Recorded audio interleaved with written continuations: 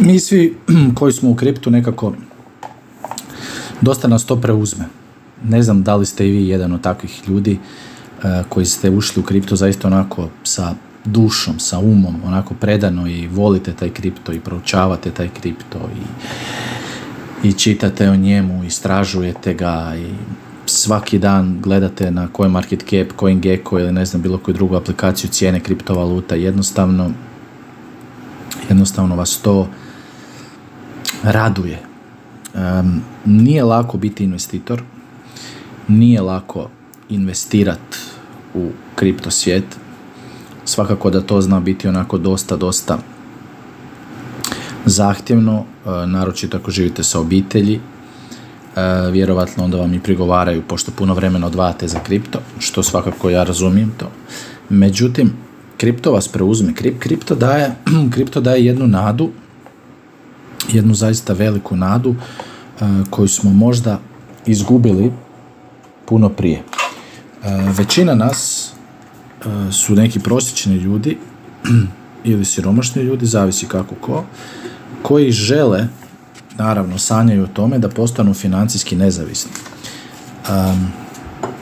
Zašto bih htio biti financijski nezavisan? Pa nije stvar samo nikakve moći, nikakvog samog novca, već zato što svako bi od nas vjerovatno htio imati slobodu da može na poslu na kojem radi dati otkaz i znati da ima novaca za život. Vjerojatno bi, dobro, možda kažem krivo, svako. Mnogi od nas bi to htjeli. Mnogi bi vjerovatno htjeli imati tu slobodu da možeš ustati kad hoćeš, da legneš u krevet kad hoćeš, da možeš priuštiti svojoj ženi, svoj curi, mužu, ne znam, obitelji, nekakav izlazak, nekakvo putovanje, kupiti im nešto lijepo. Ne znam, svašta bi svašta bi ovoga htjeli. No međutim, poanta je da bez obzira što mi htjeli, mi to teško, teško možemo dobiti. A zašto? Pa prije svega zato što živimo u sistemu koji je kao što vidite jako kompliciran, u sistemu koji je jako ograničen, u sistemu koji nas troši, u sistemu kojem trebamo raditi do, do, do onako baš duboke starosti. Jednostavno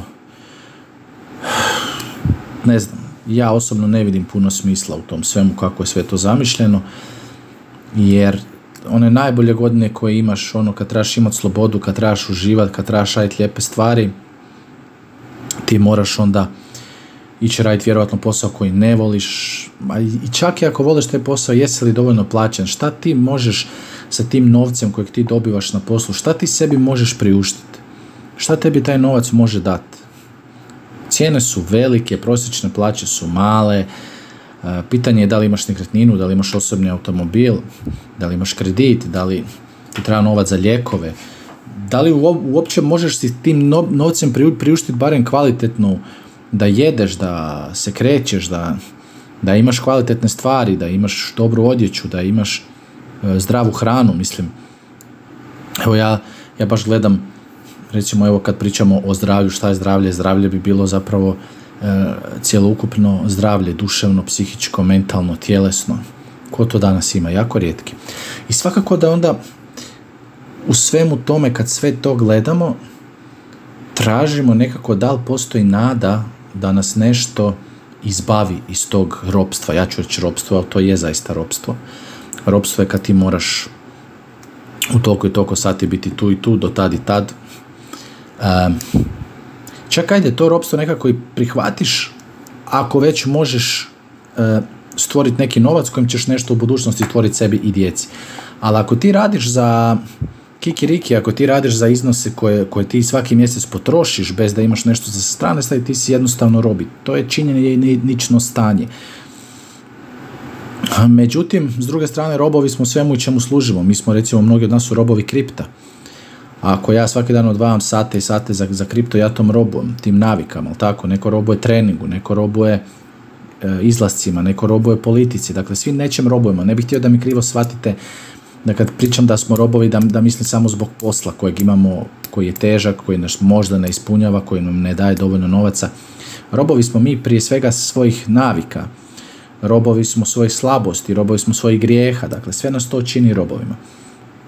I svakako da je čak i na kriptu i da zaradite puno novaca i da financijski više niste rob, e, pitanje je da li ćete u svim drugim segmentima biti slobodan. Dakle, čovjek je biće koje stalno napreduje, zato imamo industrijske revolucije, imamo napretke na, novi te, tehnologiju, dakle čovjek teži stalno bolje i to mu je u prirodi.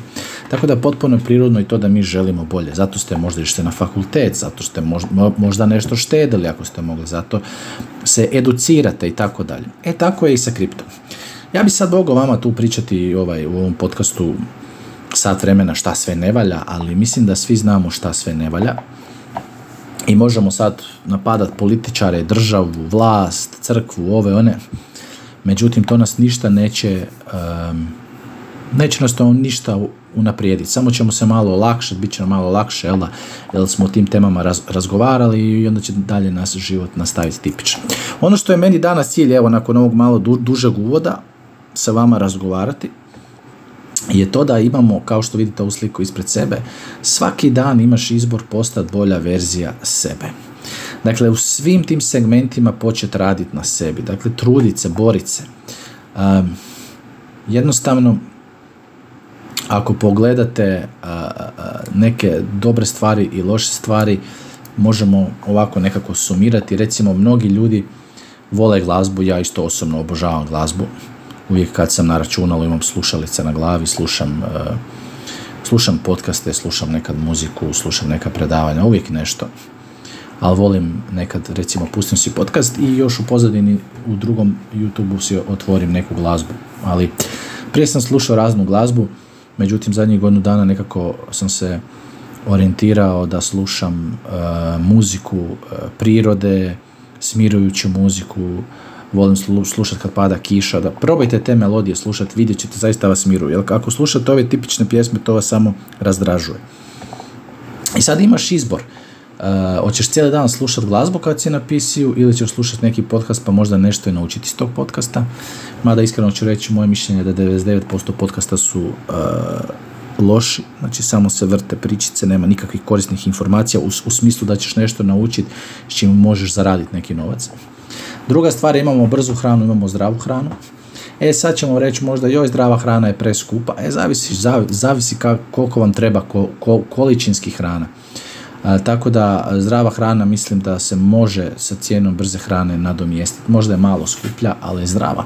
Zatim imamo društvene mreže. Da li ćeš cijeli dan scrollat po društvenim mrežama ili ćeš rađe to vrijeme potrošiti na neke knjige i na neke tečeve, ali ću tu opet podvući crtu i reći 99% knjiga i tečeva su e, besmisleni u smislu da te neće naučiti kako da financijski e, prosperiraš. Znači, tebi je cilj u svem ovom učenju i slušanju, sad pričamo o financijskoj slobodi ili pričamo o kriptu, sad ne pričamo o duhovnoj našoj strani, o, o zdravlju i tako dalje, već pričamo o financijama. Dakle, E, većina tih knjiga i tečajeva te neće naučiti kako da, da zaradiš. Većina knjiga i tečajeva su napisane s ciljem da ti nešto sve lijepo malo upakiraju, da oni zarade, a ti ćeš dobiti onako mrvice. E, dakle, nećeš dobiti road map pravi. E, I ova četvrta stvar koja je jako bitna, a to je dakle većina ljudi ima naviku samo trošiti novac, kupovat, gledat, dobiješ plaću, imaš nešto dio novca, aha sad ću si kupiti ovo, sad ću si kupiti ono. Dakle skloni smo trošiti, dok imaju oni mudri koji se bave investiranjem. E sad, s druge strane, reći će vam, nemoj trošiti troš novac, investiraj ga, ali bolje je, recimo, sjetite se samo koliko ste, recimo, izgubili novca na kriptu, ja sam prvi izgubio puno, e, međutim, želim još jednu stvar reći, a to je da nismo izgubili dok e, ne prodamo coin. Dakle, ja imam coine koji su 99% minusu, 98, 95, 90, kako koji, ali krivo je reći da sam izgubio. Ja sam u minusu s tim coinovima. Ali e, da li sam izgubio ili sam profitirao, ću moći tek reći e, nakon e, sljedećeg bull marketa. To je ključno kod, kod kripta. Sve dok nisi prodao coin, makar on bio 99,9% u minusu, ti nisi izgubio. Ti jesi s njim u minusu, ali nisi izgubio sve dok ga ne prodaš. E, to je bitno. Međutim, evo, možemo se složiti da bi možda nekad bilo i dobro rađe potrošiti novac na hranu, na izlaske, na neke stvari koje nas vesele, nego na kripto. I to je moguće. No međutim, sa samim investiranjem u kripto, investirat ćemo vjerojatno često puta u neki projekt koji je loš, koji nam neće donijeti nikakve rezultate, to sve stoji, no međutim, samim tim stvaramo jedan mentalni sklop koji nas čini čvršćim, jačim, pametnim i mudrim za daljne investicije. Tako da, ja osobno smatram ako uložim u šest kriptovaluta od kojih neće biti ništa, uložim u jednu od, koje će biti, ta jedna mi može vratiti povrat ovak, sve, svih novaca koje sam uložio u ovo. Dakle, uh, ukratko, trebamo nastojati biti bolje verzije nas. Učiti, informirati se, pokušavati, raditi, to je to. Ja znam da mnogi od vas sigurno imate razne poslovne ideje, razne kripto ideje, razne ideje, ali jednostavno nemate snage da poletite. Ja imam ovako jedan citat koji sam sebi napisao i kojeg svaki dan pogledam, a na njemu piše zašto ostaješ rob kada imaš krila da letiš. To, to, to je toliko moćno, znači ja ću vam još jedan put ponoviti. Dakle, i to vrijedi i za vas isto. Zašto ostaješ rob kada imaš krila da letiš ili zašto ostajete robovi kad imate krila da letite. Dakle, mi imamo u sebi potencijal, mi imamo u sebi dosta već znanja koje je potisnuto ali, ali na strah koči, strah nas koči, znate. Strah je jedan uh, veliki problem koji čovjeka koči i ne da mu da otvori ta svoja krila, da poleti, da ide za svojom strasti. Neko voli slikati, neko voli pjevati, neko voli, ne znam, raditi struju, neko voli kuhati, Sva, svako ima neku strast.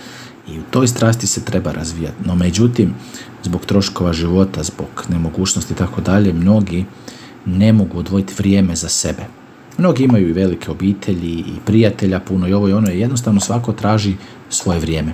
I jednostavno ljudi onda nemaju vremena. Ja znam da je ključan problem današnje civilizacije je vrijeme uh, i uh, manjak uh, pravih informacija. Vi danas ne možete doći do pravih informacija. Ja sam gledao neke tečeve koji su bili jako skupi, neki ljudi su mi poslali linkove, nisam ih plaćao, odmah da vam kažem da ne plaćam nikakve skupe tečeve, ne bacam na to novac. I gledao sam te mnoge skupe te, tečajeve koji su koštali po nekoliko tisuća dolara i mogu vam reći da su to sve pretežito gluposti. gledao sam od onog Andrew Tate-a, onu njegovu neku akademiju, čovjek je možda u tih 10 sati koliko sam to sve izgledao, sva ta videa, možda rekao pet stvari koje su korisne, a na broju ih je stotine. Tako da, niko vam neće uh, dati znanje u nikakvom tečaju, nikakvoj knjizi, već znanje se skuplja kolektivno, malo ovdje, malo tu, malo tamo i onda ga skupljaš, spajaš, ali nije, ali nije bit imati znanje, bitno je imati e, primjenjivo znanje, e, vrijeme i hrabrost za primijeniti. Tako da ovim putem vas ohrabrujem, ako imate znanje, ako imate vrijeme i ako imate hrabrost, ako znate kako skupiti hrabrost, pokrenite neku svoju ideju, pokrenite nešto što vam daje strast, nešto što vas veseli. Odvojite vrijeme za sebe, nemojte zaboraviti, e, sami ste došli na ovaj svijet, sami odlazite s ovog svijeta.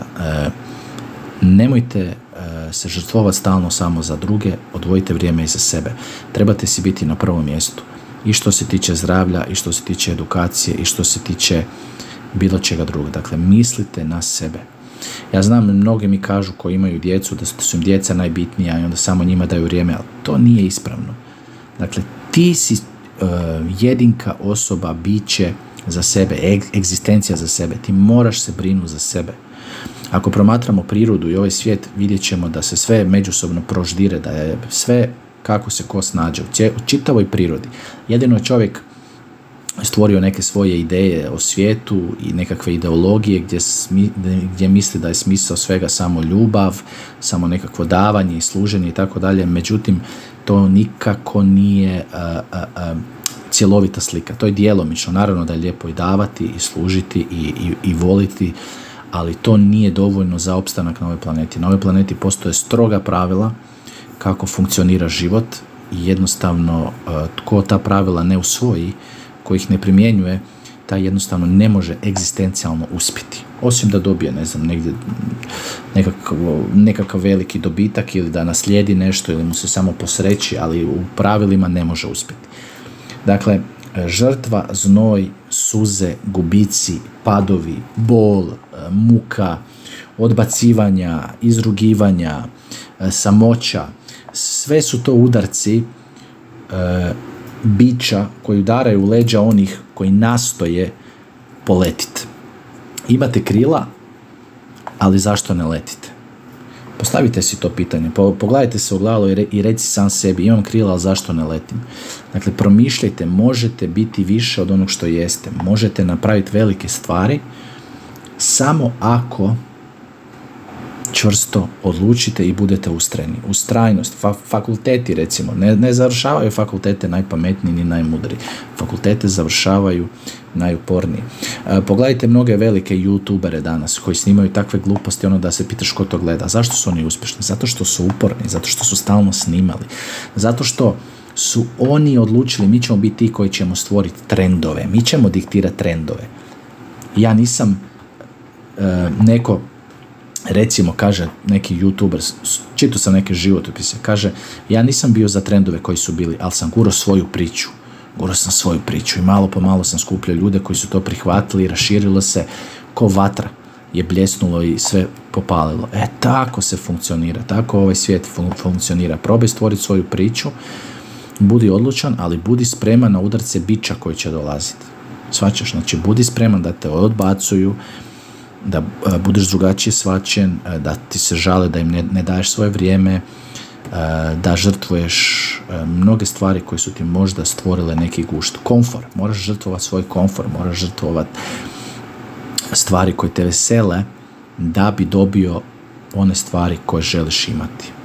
Dakle, to je onako bit ako želiš uspjeti u bilo čemu. I onda će ti se krenuti mijenjati mentalni sklop, onda ćeš krenuti drugačije razmišljati, onda ćeš jednostavno uh, sa puno manje stresa biti i u kriptu i u drugim stvarima. Dakle, zaključak ovog podcasta, evo već traje 17 minuta, je nastoj biti svoj i postavi si pitanje svaki dan zašto ostajem rob, sad ponavljam rob, nisi rob samo države, posla, ne znam, žene, sebe i ovoga, nek si rob svemu, čemu onako služiš.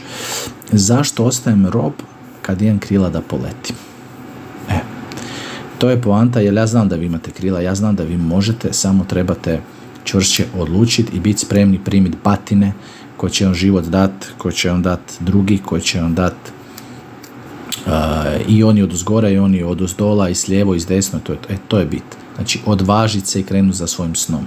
Naravno, to ne znači da uh, se kreće u bilo šta, morate biti realni, treba biti prizeman, recimo ako ja sad kažem želim otvoriti restoran e, e, ne znam u Splitu koliko to ima smisla, ja moram pogledati koliko imam konkurencije, da li imam financije za to, koji su tu sve troškovi, da li imam neka znanja o tome, da li imam iskustva u tom sektoru. Dakle, e, kad vam kažu možeš sve što hoćeš, to je jedna onako floskula koja je jako, jako loša. Ne možeš sve što hoćeš, ali možeš ono za što imaš potencijala. Možeš ono za što imaš znanja. Možeš ono za što imaš upornost. I kad se spoji potencijal, znanje i upornost, onda možeš dobiti rezultat.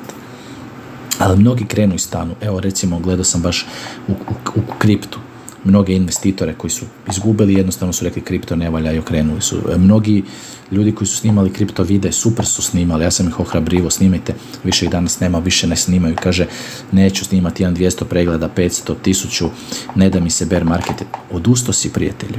Nisi spreman primat udarce, nisi spreman primat udarce, da, malo ćeš imati view da, puno ćeš vremena odvajati, da, ovo ono, a ako si spreman, ako si odlučan za nešto, onda primaj udarce. To je.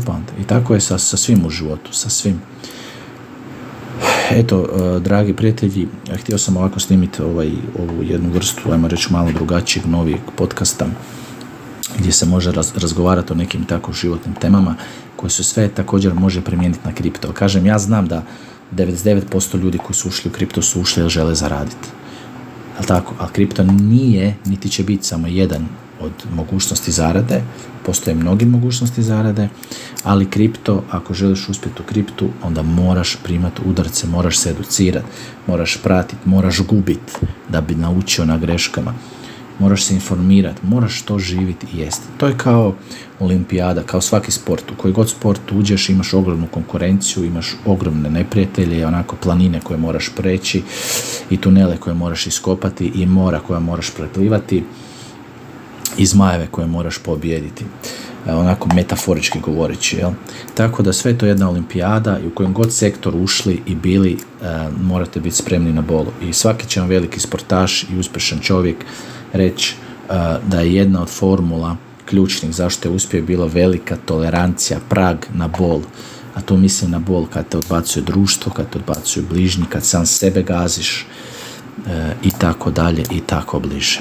Eto ga, prešli smo 20 minuta. Hvala vam na pažnji. Pišite svoje komentare, da li vam se svidio ovaj podcast. Pišite mi možda kakve teme imate za razgovarati, o čem bi htjeli da pričamo. Možda bi vi htjeli da snimimo zajedno podcast, da možda vi imate neku inspirativnu priču za podijeliti, idemo se družiti, idemo pričati, ovoga, svi smo mi nekako zajednica i tu smo jel, samo s jednim ciljem, a to je da da u svakom smislu prosperiramo, pa tako i u znanju, tako i u svim drugim sektorima u koje možemo dobiti primit kroz ovaj kripto svijet.